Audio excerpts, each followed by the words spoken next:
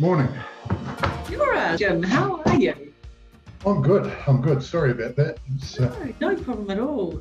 So I guess I just wanted to hear from you in a really relaxed way. Uh, Jim, tell me a bit about some of the challenges that you faced. Right. I guess the biggest challenge was that we were dealing with completely uncharted waters. Um, everyone in the tourism industry knew that sooner or later there would be a downturn and so, uh, Jim, what were the sort of biggest learnings from all of that? I mean, it is a crisis of unrealistic proportion. Firstly, the resilience of our community. Um, and um, if I look at it now, I'm amazed that we've had the small number of businesses fail that have actually failed. Mm. Um, uh, employers here have been, been terribly resilient employees have been flexible, found ways to make do in the meantime.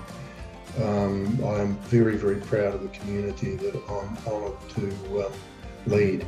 And I guess one of the biggest challenges really is how we're going to manage that growth all of a sudden from quite a low base and how we um, manage to retain employees and provide the services that we want to so that tourists have a great time one of our big challenges at the present time, and that is lack of employees.